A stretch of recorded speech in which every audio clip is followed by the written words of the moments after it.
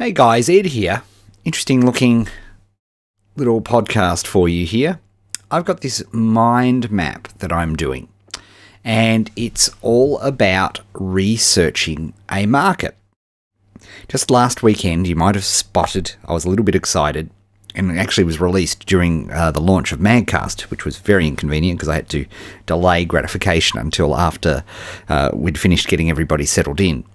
But uh, a card game that I used to play many, many, many, many years ago, probably 20 now I think about it, uh, was released on the iPad, which is very exciting. But that's neither here nor there. As I was playing it, I was realizing, gee, that would be an interesting potential market for a Magcast. And so I started uh, creating a little mind map here of the things that I would look at in a marketplace to have a look at how to research uh, if we're going to publish a magazine on new Apple Newsstand. Now, of course, people are very familiar, I hope you're familiar with our market research techniques for creating websites and searching out phrases and researching phrases and, and determining whether a website market is, is effective. These methods and influences are the gold standard. People use them for all sorts of projects, whether it's a $10 project or a, billion dollar project. Um, it really is um, the gold standard for that sort of research. But of course, Magcast being so new means two things. One, the fundamentals really don't change, but where we look and what we look for does change. So I've made a start here and I want your help. So I'm going to explain what I have mind mapped here, but then I'd love you in the comments below to contribute your thoughts, your suggestions about what other resource uh, research, I should say, not resource, research areas that you might use to start creating an app, or in this case, a Magcast app, so a, a magazine which appears in Apple's newsstand.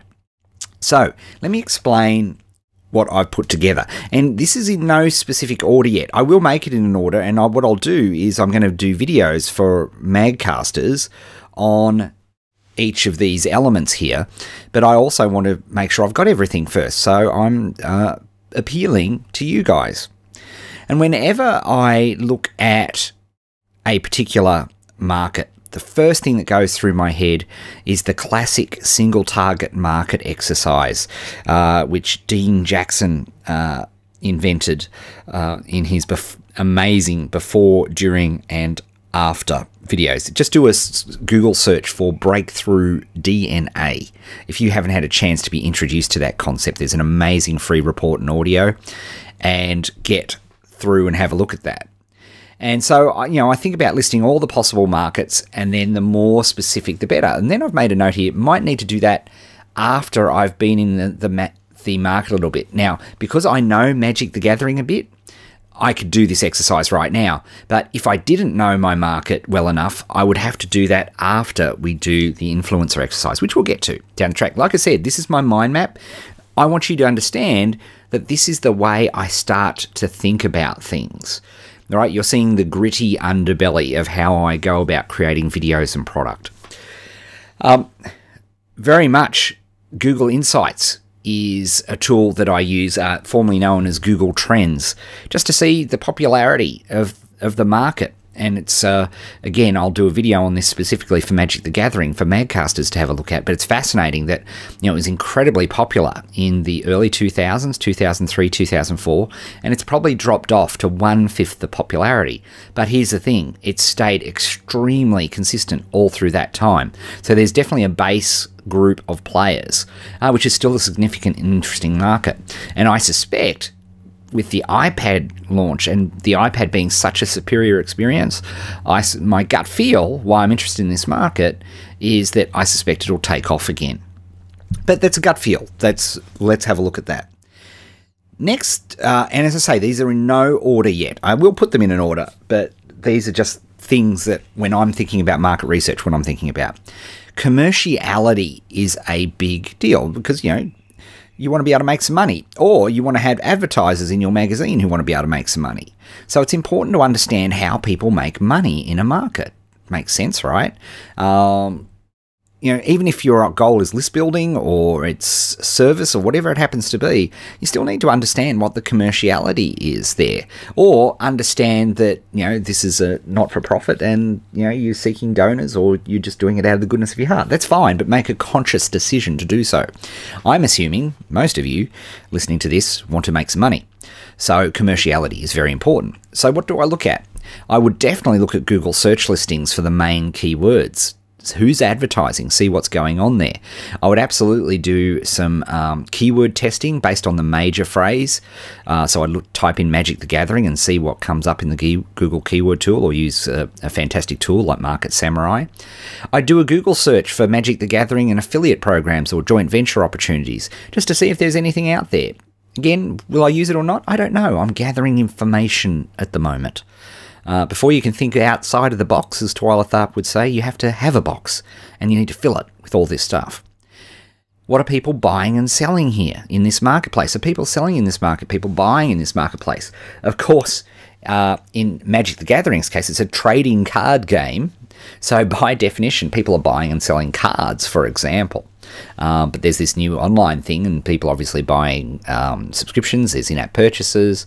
Um, there's strategy guides. There's all sorts of things. I'm also interested in the look of look and feel of the marketplace. What level of design's going on here?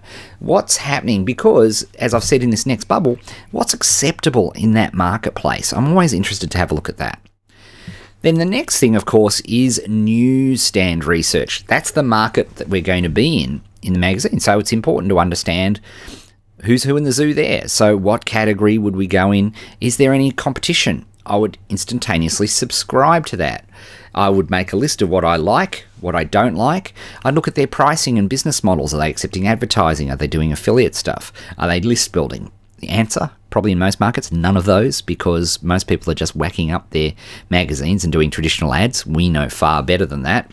But that to me is an interesting thing that I would check perhaps the most important exercise I would undergo, and this was uh, brilliantly taught in Always Be Shipping, and I've done actual YouTube videos on this concept as well. On top 20 influencers, a concept I first read um, about in um, oh, it's terrible. I can't MacLeod, Hugh MacLeod, Hugh MacLeod's book, and I thought it was absolutely fascinating. His basic contention, and my contention to you, is Going forward in the future, if you're not one of the top 20 influencers in your market or your niche, your history. Pretty, pretty harsh, but I, I truly believe that. I really think that that's the case. And so you need to know who's who in the zoo.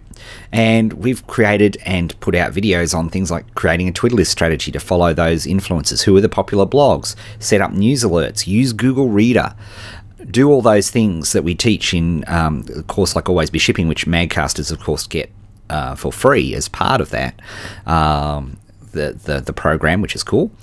But this to me is a vital, vital element of any market research. You've got to understand what's going on, even particularly, most importantly, if you know the the Magcast opportunity for for people is that they can actually make incredible impact in a market where they've had little or no experience prior to publishing their first magazine issue, uh, with the help of contributors and great designers and so on.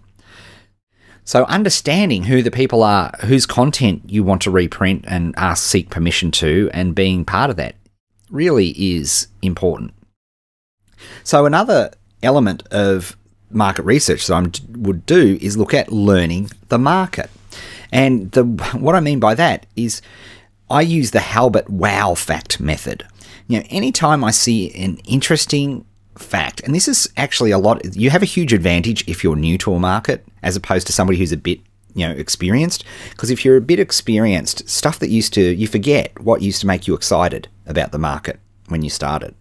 And so you really have to clear your mind and your biases and think about what's wow. And so anytime that there's a wow fact. Well, in the old days, we'd write it on a three by five card, and we'd um, you know keep a box of three by five cards for each project. And we'd, uh, as Gary would often say, we'd fondle the three by five cards, and that would help for all sorts of things. In the 21st century, I must admit I still like a three by five card, uh, but I also use Evernote. I create a special Evernote book and create notes in that because I can do that from anywhere. I can do that from the iPad, I can do that from a computer, I can do that from the phone, wherever it happens to be. I can create a particular thing so that I can have all this information as I'm collecting it uh, because you never know where it's going to come in handy. And often, what I will do is print out. Once I've collated a whole bunch of stuff, I'll print that out so I can physically fondle it and have a look at it. Other things that I try to remind myself of in a market are things like the beginner bias. As a general rule, ask yourself this question Who is going to buy the most stuff? Somebody who is been experienced in the marketplaces and been doing that thing for 20 years, or somebody who's just beginning? Yes, you're absolutely correct. If like in most markets, and I'm not saying it's all, but in the vast majority of markets, the beginner's the one who gets all excited and buys all the books and the equipment and the gear. And what you realize, I remember when I started playing guitar, you know, I was I had a problem with buying guitars. and now, you know, I've whittled my entire collection back to, you know, a couple of guitars which I absolutely love because I went through that life cycle of the enthusiast. And, you know, you've got to keep that in mind. So when you're thinking about what sort of magazine do I want to create? Um, as a general rule, my bias is towards the beginner. Not always, you have to check, but that's that's a bias that I have. And then finally I've got here for completion is that you might have more than one market. And so, you know, you've got to look at how you how do you decide? And you know, I've got questions that I put down here. Which do you like more? Look at the numbers. You know, have a look. You know, what do you like more? Look at the numbers availability of content, uh, the more the better. Um, you know, the more social media savvy the market is, the easier it will be to approach experts and become an influencer in that market. You know, where I cannot tell you how incredible the stories are that I'm getting of people who are just doing amazing things in their particular marketplace um, because they're able to get their first magazine out because they haven't had to write it themselves. They've been able to reprint wonderful content from industry major players, stuff that people want to read. And guess what? There's no duplicate content when it comes to a magazine, um, which is just awesome. So it's fantastic. So I'm looking at availability of content and seeing what's there. Competition. Um, believe it or not, most people think, oh, I'm looking for a market without competition. Mm, not me.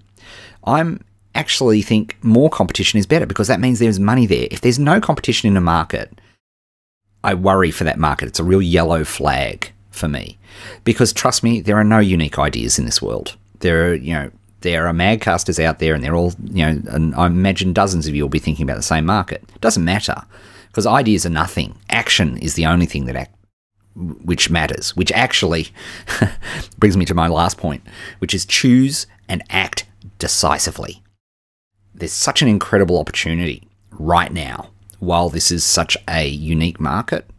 And by just picking and moving and getting it done, getting that, you know, not thinking about it, not doing a mega issue, your first issue out, make it simple. Um, some of the magazines that have been put out so far, like uh, Happy to Survive, is one that I can think of, is a sampler magazine. It's got four articles in it, I think, three or four articles. That's it to show people what it's going to be like and putting it out as a special free download. And then, of course, the, the big new magazine is coming out the next month, but they've planted their flag in that market. They've already got mind share. And that's what I think you need to do. And that's and you can do. You can do it because we made it so easy to do so. But here's the thing. This is my list. I would love to see what you do. So here's what I'm doing. I'm providing a PDF of this. I'm also providing a couple of mind mapping formats for you so you can download it and use it in your own mind mapping uh, format as well. Um, and I want you to contribute. Let us know in the comments what you would add to this market research if you were doing something in a magazine. Okay? Let us know. Let us think, and I'll share the results okay and then of course for the uh, what i'm going to do then and just just so you understand i will use your contributions in a commercial way because i'm going to create some videos on each of these sections uh, for magcasters so there you have it that is what I am doing. I would love your help with this, um, and see. Let's see what we can else we can come up with because I don't know that this is a um, comprehensive list. I'd also be interested in hearing what sort of order you'd put these in too. Um, so there you have it. Uh, thanks very much for listening. I hope this has been interesting to you, and and this remember has lessons not just in the magcast market, but in any market that you're looking at, because the fundamentals of market research, I believe, don't change. Okay, folks, thanks very much for listening. Hope it was interesting for you. Oh, if it was interesting, please, uh, you know, hit up the Google Plus, the like, the Facebook like, the the tweet retweet. Love it if you did that for us. Um, that would be really, really appreciated. Okay, gang. Speak soon.